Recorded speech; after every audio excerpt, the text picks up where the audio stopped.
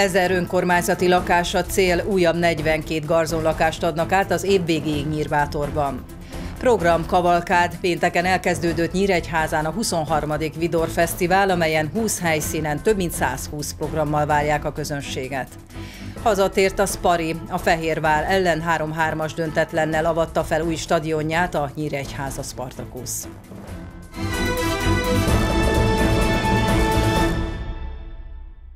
Önkormányzati és a Nemzetgazdasági Minisztérium által biztosított forrásból 42 lakásos új lakópark épül Nyírbátorban. A Kölcsei Televízió híradóját látják, köszöntöm Önöket! A közel 1 milliárd forintos beruházásból elkészülő lakások segítenek a fiataloknak munkát vállalni a városban. A kedvező bérleti díj jelentős megtakarítást jelent a háztartásokban, segítve ezzel a családalapítást és később a saját lakásvásárlását. Az ingatlan statisztikák alapján a nyírbátori lakás és családi ház árak négyzetméter árai szinte megegyeznek a Vármegye székhely adataival. A polgármester elmondása szerint ez nem véletlen.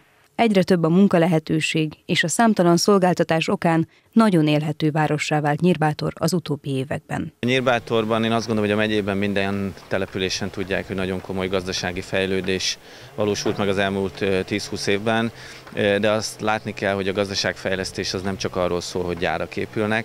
Nagyon fontos, hogy az itt élő embereket, a környéken élő embereket is helyben tudjuk tartani, és az is nagyon fontos, hogy a szakemberek, akik ezekhez a gyárakhoz érkeznek, azok ide települjenek, ide költözzenek. És ebben a legfontosabb feladatunk a lakhatás feltételeinek a javítása.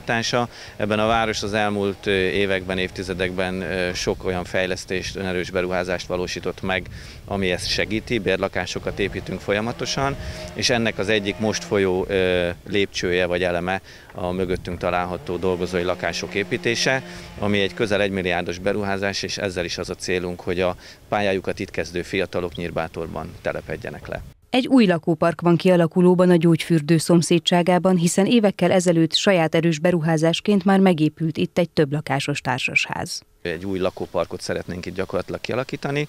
Ez most annyiban különbözik, hogy ennek a beruházásnak, ami szintén közel egy milliárd forint értékű, 50%-át hazai forrásból, munkaerőpiaci alapból a Nemzetgazdasági Minisztérium biztosítja, és ahogy látszik, jó ütemben haladnak a, a, az építkezési munkálatok, bízunk benne, hogy rövid időn belül már az új lakók is be tudnak majd ide költözni. Jelenleg 42 lakás kivitelezése folyik, de a távolabbi cél az, hogy az önkormányzat tulajdonában legalább a jelenlegi 500 bérlakás kétszerese legyen, tehát ezer korszerű élhető lakást és ezzel lakhatást biztosítsanak a nyírbátorban élők számára. Egy pontozási rendszer dolgoztunk ki a bérlakás bérlőinek kijelölésére. Ebbe több szempontot veszünk figyelembe, olyan szempontokat, ami a város számára fontos. Az egyik és legfontosabb szempont, hogy aki bér, ide be akar költözni, annak munkahelye legyen, itt Nyírbátorban legyen munkahelye. Előnyt jelent, ha valaki már korábban is Nyírbátorban lakott, hiszen ezzel a helyi lakosokat szeretnénk segíteni és védeni, de természetesen figyelembe vesszük, hogy van-e már gyereke, hányan költöznek, milyen jövedelmi viszonyokkal rendelkezik, de ezeket már kisebb mértékben, tehát egy pontozás alapján mindig a rangsor elején lévők, tehát a leginkább rászorultak, a leginkább arra érdemesek kapják meg a megüresedő lakásokat. Az önkormányzat az elmúlt években emelt a lakbéreken, viszont a négyzetméter árak még most is a piaci ár alatt vannak 60-70 százalékkal. A lakásbérleti szerződés maximum 10 évre szólhat, ezzel is ösztönözve a lakókat arra, hogy a későbbiekben saját lakás vásárlására törekedjenek. Egy baleset miatt teljesen leállt a vasúti forgalom a budapesti keleti pályaudvaron. Vasárnap este ugyanis kisiklott egy Kolozsváról érkező Intercity szerelvény, ezt követően a keletiből induló és oda érkező szerelvények nem tudtak ki, illetve bejutni. A MÁV közlése szerint a mentési munkálatok hétfőn is tartottak. A pályaudvar bizonytalan ideig nem indít és nem fogad vonatokat, az érintett járatok más budapesti állomásokra érkeznek és onnan indulnak, ezért hosszabb utazási időre kell számítani. Pénteken elkezdődött Nyíregyházán a 23. Vidor Fesztivál, amelyen 20 helyszínen több mint 120 programmal várják a közönséget. A színházi verseny előadások mellett ingyenes koncerteket, bábelőadásokat és kiállításokat is láthatnak az érdeklődők. A nagy színpadon nagy sikert aratott a Rózsavölgyi Szalon Szívhang című vígjátéka, a Rózsakert szabadtéri színpadon pedig Goldóni a Hazug című komédiáját láthatta a közönség a Víg Színház társulatának előadásában. Pénteken a nagy színpadon a Rózsavölgyi Szalon Szívhang című előadását láthatta a közönség. A sírva nevetős történet három 50 éven túli barátnő és egykori egyetemi csoporttársuk Andris találkozásáról szól. Régi sérelmek, elszalasztott lehetőségek, vágyak és indulatok kavarognak a színpadon.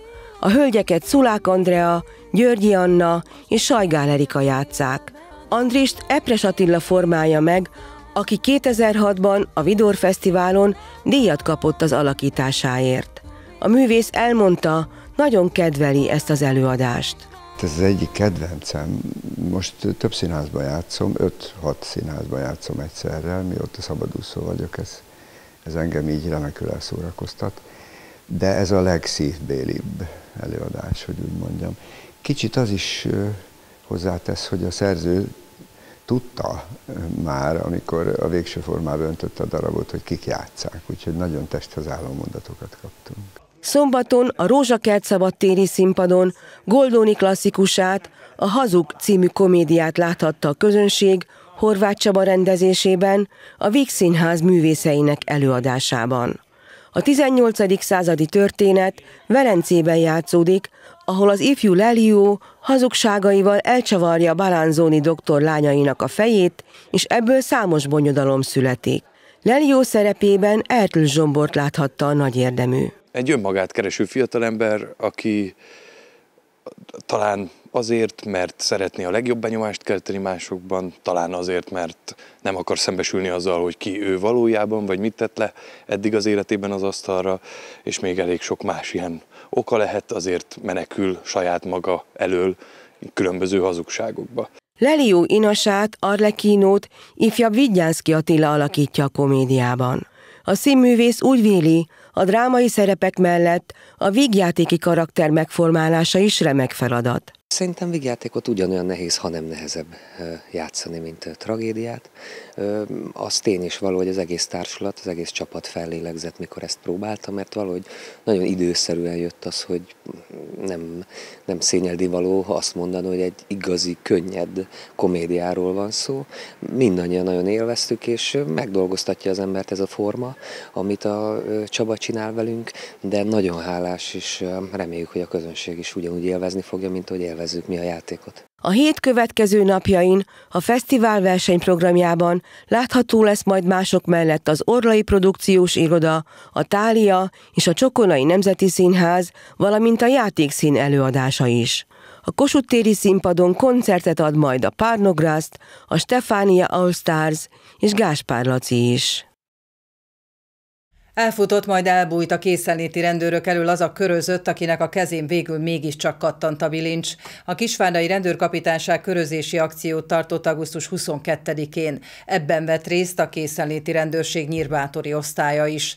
Az egyik szabolcsi kistelepülésen egy 40 éves férfit kerestek, aki 60 nap elzárást kapott lopás miatt, de nem vonult be a börtönbe. Amikor a készenléti rendőrök lakcímén keresték, a felesége azt állította, hogy nincs otthon, Budapestre ment dolgozni dolgozni. Az akciót a magasból biztosító drón kezelője azonban észlelte, hogy a férfi hátul kifutott a házból, majd beszaladt a kettővel mellettük lévő ingatlanba, ahol édesanyja lakik. A drónkezelő azonnal jelzett a kollégáinak, akik néhány pillanat alatt el is fogták a körözöttet. A kisvárdai rendőrkapitányságra onnan Nyíregyházára, a Szabolcs-Szatmár-Bereg vármegyei büntetési végrehajtási intézetbe vitték, hogy megkezdhesse elzárásának letöltését. A Nyíregyházi Zsidó Hitközség második alkalommal rendezte meg a Zsidó Gasztronómiai Fesztivált a Zsinagóga udvarán. A hagyományos ételek kóstolásán túl kulturális szokásokat és a hitélet sajátosságait is megismerhették az érdeklődők. Az egynapos rendezvény Nógrádi Gergely és Malek Andrea koncertjével zárult.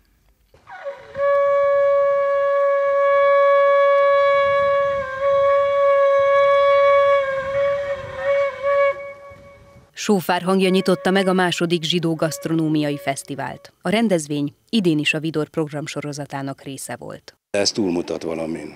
Mutat is valamit, meg túlmutat. Egyrészt lehetőség nyílik arra, hogy a közösség tagjai ilyen formában is találkozzanak. Ez egy alkalom, de ugyanakkor nem csak egymással, hanem a város társadalmával is. Nyitottak a kapuk, bárki bejöhet ide, bárki ismerkedhet, nem csak a zsidó ételekkel, hanem esetlegesen a, ennek a közösségnek a történelmével, hiszen a háború előtt egy több ezeres közösség élt, zsidó közösség több templommal rendelkezve ebben a városban. Nagyon sokat tette ez a közösség, nem csak önmagáért és a zsidóságért Magyarországon, hanem a városért is. A megnyitóra már szinte teljesen megtelt a zsinagóga udvara. A köszöntők sorban követték egymást. Baracsi Endre, a szabolcs már bereg bármegyei közgyűlés alelnöke megnyitó beszédében a minket körülvevő értékek megóvására hívta fel a figyelmet szabolcs már bereg vármegye és nyugodtan mondhatjuk Nyíregyháza megyei jogú város arculatát is nagyban alakították a zsidó közösségek. És valóban értékes a mi megyénk, értékes Nyíregyháza, és eh, ezt értékessé a kulturális és épített örökség mellett, amelyben valóban szintén nagy hangsúlyt kapott a zsidó közösség szerepe, amellett maguk a közösségek is erősítették és értékesítették.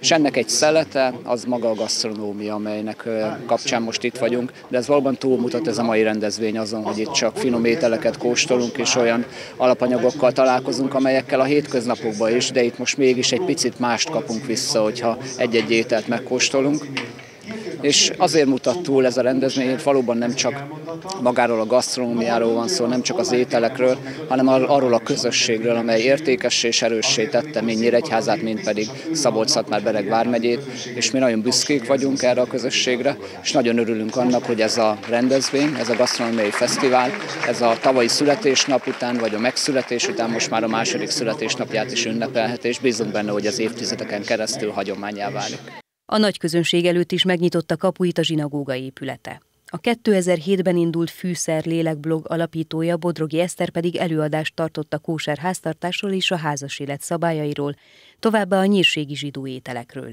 A sorok kígyóztak, és nem maradhatott el többek között a sólet, a zakuszka és a flódni kóstolása sem. A Nyírvévi Nonprofit Kft. tájékoztatja a lakosságot, hogy augusztus 28-án, 29-én és 30-án Nyíregyházán az erdei tornapálya környezetében faápolási munkálatokat végeznek. Az egészségügyi gyérítés ideje alatt a munkálatok környékén található parkolókat lezárják, továbbá a gyalogos kerékpáros és gépjármű forgalom időszakos korlátozására is számítani lehet.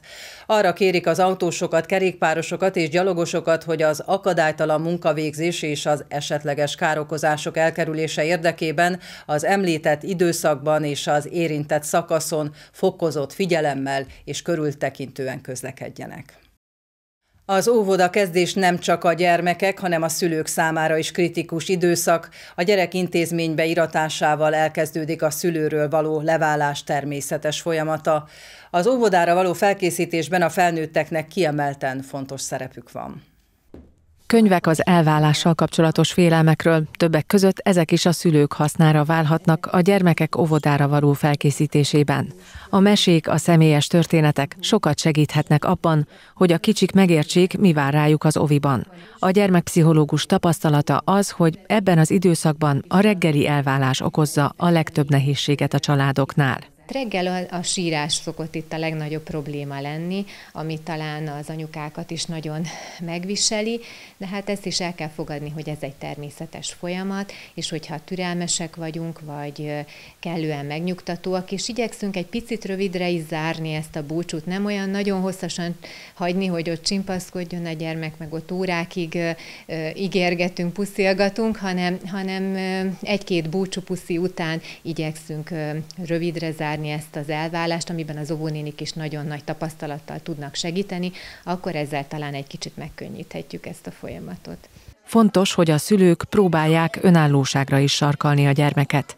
Az óvodában ugyanis sok helyzettel már egyedül kell szembenéznie. A mai szülők nagy része már szerencsére sokkal tudatosabb, és nagyon igyekszik a gyerek igényeire odafigyelni, hogyha ezt az édesanyja nagyon-nagyon jól akarja csinálni, és nagyon, nagyon törekszik arra, hogy minden nehézséget elhárítson a gyermek útjából, akkor azzal egy picit a saját dolgát is nehezíti, hiszen ha mindentől megkíméljük a gyerkőcöt, minden nehézségtől, akkor, akkor pont azok a képességei nem alakulnak ki, amikkel megküzd, meg tud küzdeni egy-egy nehezebb helyzetben.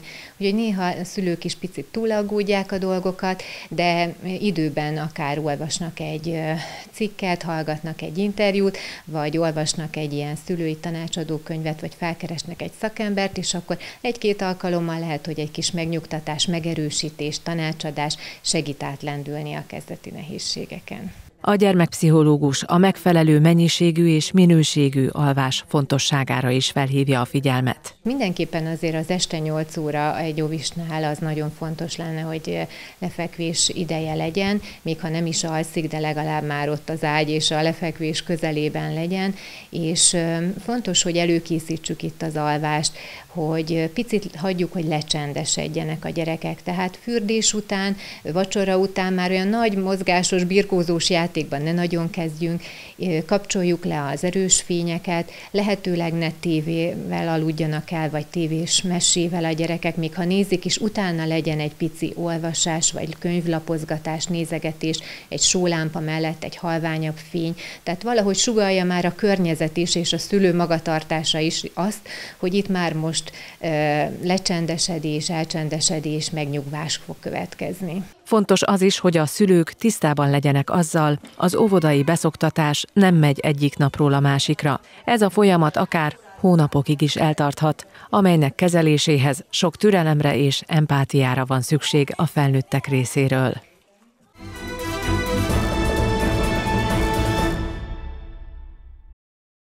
Döntetlennel tért haza új stadionjába a Nyíregyháza Spartakuszt, Timár Krisztián együttese az NB1 5. fordulójában a Fehérvárt fogadta. A hazaiak 2 0 vezetését követően a vendégek fordítottak, de a Spari egyenlíteni tudott, így a mérkőzés 3-3-mal zárult. A tabella 11. helyén álló Nyíregyháza vasárnap a harmadik Ferencvároshoz látogat. Nyíregyházi stadion, hirdeti a felirat. Ezt már eddig is láthatták a szurkolók, belülről viszont csak vasárnap délután csodálhatták meg az új létesítményt. A közel 20 milliárd forintból elkészült, 8150 néző befogadására alkalmas UEFA 2-es kategóriájú létesítmény mindenben megfelel a kor követelményeinek. Egy komplex fejlesztés történt, ugye egy UEFA minősítésű modern foci stadion jött létre, de körülött épült egy 630 méter hosszú, másfél méter széles rekordtánfutópálya, mit a a, a ingyenesen használható nyitvatartás időben mindenki számára. Sok gyereket hoznak ide a szülők edzésekre, és én azt remélem, hogy nem mennek el, hanem addig futnak egyet, amíg tart az edzés és hát emellett egy szabadidős sportcentrum is megépült, kétszintes, ahol egyébként a kispályás foci bajnokság öltözői is ott vannak. Ország egyik legnagyobb létszámú kispályás foci bajnoksága van Nyíregyházán, ezért a hatsalakos pályából hármat átépítettünk műfüves pályává is. Hát ugye az egész kerítésrendszer, itt a, a, a villamos energiaellátástól a szennyvízig voltak problémák a táv fűtés biztosításáig, tehát emellett régi adóságokat is kellett teljesítenünk, megvalósítani, ami nem olyan látványos. A nyíregyházi ultrák egy Hobó Bluesband idézettel fogadták a csapatot. Az oly sokáig voltunk len, nem is tudjuk milyen fenn, arra a három évre utalt, amelyben a Spari idegenben játszotta a hazai meccseit is. De az igazság, én ebben mindig bíztam, hogy új stadionunk lesz. Aki közelebbről tudja, azért egy pár éve ez már terve van, terve van. Hát eh, az, hogy most lett kész, pont mikor NB1-be felmentünk, ez a csoda. A mérkőzés jól kezdte a Nyíregyháza. Eppel már a hatodik percben megszerezte a vezetést, majd a 40. percben Kovács Réti megduplázta az előnyt. A 45. percben Gradisár szépített, így 2-1-es hazai vezetésnél mentek pihenőre a csapatok. A 64. percben Kovács Milán öngóljával egyenlített a Fehérvár, majd a 85. percben a menten igyekvő Alakszai lábáról a Nyíregyházi kapuba pattant a labda, így átvették a vezetést a vendégek. De csak három percig, mert Babics 3-3-ra módosította az állást. Ez is maradt a végeredmény, mivel a ráadásban Kovács Réti emelését a felső léc hárította. A fordulóban még két meccset játszottak, az Újpest 3 0 verte a Debrecent, a Diósgyőr pedig 1 0 legyőzte a Kecskemétet. A tabella élén a 100%-os Puskás Akadémia áll 12 ponttal. A 4 ponttal 11. Nyíregyháza vasárnap, amíg hibátlan Ferencvároshoz látogat. Vereséget szenvedett Ajkán a Kisvárda, Révész Attila együttese az MB2 5. fordulójában 3-2-re kapott ki a hazaiaktól. A további eredmények a következők, BVSC Zugló Lőrinc 1-1, Csákvár Békés Csaba 1-0, Soroksár Budapest Honvéd 3-1, Kozár Misleny Vasas 4-2, Tatabánya Budafok 1-2 és Kazinc Barcika Gyirmót 2-1. A tabella élén a Szent Lőrinc áll 11 ponttal, megelőzve a 10 pontos Gyirmótot. A 6 ponttal 11. Kisvárda vasárnap a 14. Soroksárt fogadja. Híradónk végén nézzük főbb híreinket ismét néhány mondatban. Újabb 42 bérlakás épül Nyírbátorban. A közel 1 milliárd forint értékű beruházás fedezetének felét a Nemzetgazdasági Minisztérium biztosítja. Jövő tavasszal már birtokba is vehetik a lakásokat azok a jelentkezők, akik megfelelnek majd a pályázati feltételeknek. Pénteken elkezdődött a 23. Vidor Fesztivál, 9 napon át Nyíregyháza a vidámság és derű fővárosa. A szervezők 20 helyszínen több mint 120 programmal várják a közönséget. A színházi verseny előadások mellett ingyenes koncerteket, bábelőadásokat és kiállításokat is láthatnak az érdeklődők.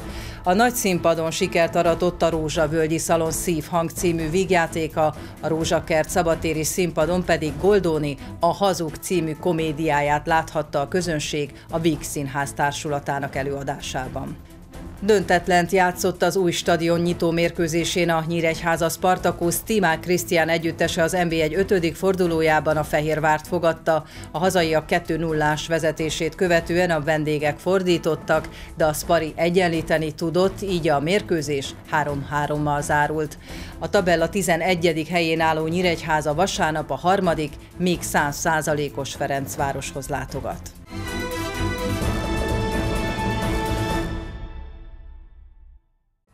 Augusztus 26-án hétfőn a Kölcsei Televízió híradóját látták, nem sokára időjárás jelentés, friss információkkal pedig holnap este is várjuk majd Önöket. Megköszönöm figyelmüket, viszontlátásra!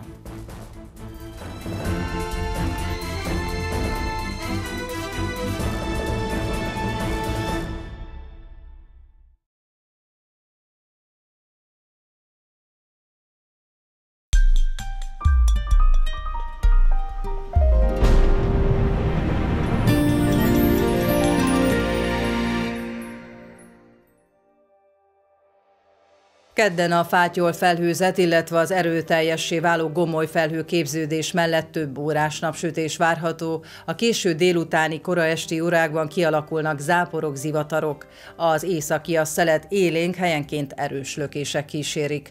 A legmagasabb nappali hőmérséklet 30 és 35 fok között alakul.